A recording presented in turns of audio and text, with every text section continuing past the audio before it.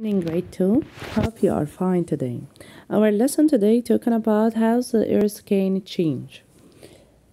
In the last lesson we say that the earth can change in minutes. Let's remember what can change earth in minutes. Fire and earthquake. Excellent. Today we're gonna say about more actions that can change the earth quickly. The first one is earthquake. Earthquake is shaking of the earth's surface. Earthquake means shaking of earth's surface. What's the meaning of the word shaking? Shaking it means to move quickly. When the earth's surface is moved quickly, an earthquake happen. Let's see what is earthquake and how it happens. Whoa! You're laughing, right? Watching me tumble like that? Are you? oh, no, no, go ahead. but hey, do you know what just happened? Whoa! There we go again. Well, this is nothing but an earthquake. A small one indeed. Come, let me tell you about earthquakes today. Zoom in. The surface of the earth is like a jigsaw puzzle. Yes, it's not a single piece of land, but approximately 20 pieces of a puzzle that constantly move. But you don't feel it because they move quite slowly. Each one of those puzzle pieces are called tectonic plates.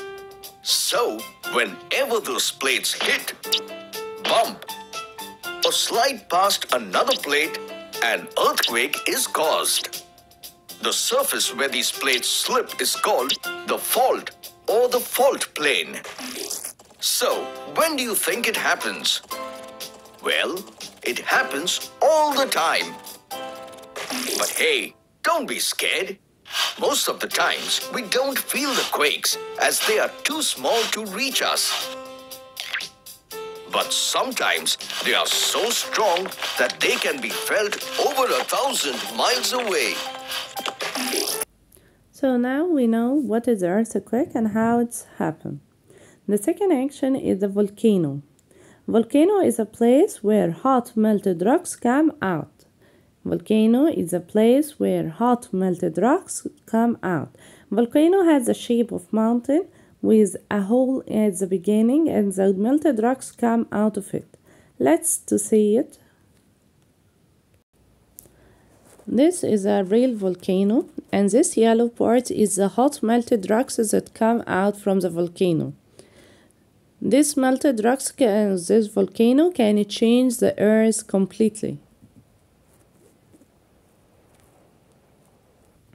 So now grade 2 we know that we have earthquake and volcano and fire can change the earth come quickly. This is the, the third one is the flood Flood happen when the river or lakes are overflow.